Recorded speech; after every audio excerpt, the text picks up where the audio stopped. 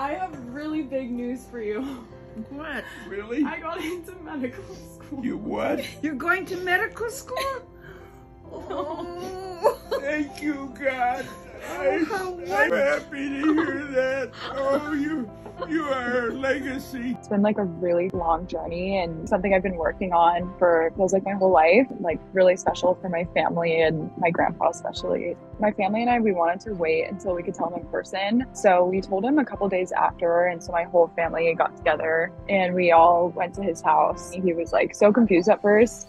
He kind of knew like something was up. It was a school that I had interviewed for and I was kind of like waiting on it. He had like a hint, but he was like over the moon and still calls me about it like every single day.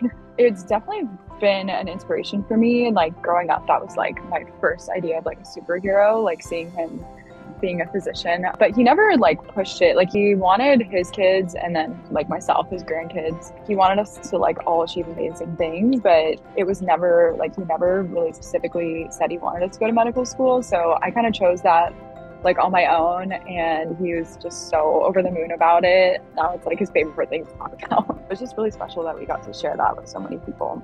There's been a few people who have commented on the videos who are like, oh my gosh, like he was my doctor, my like for my whole family, like they all went to him. It was crazy.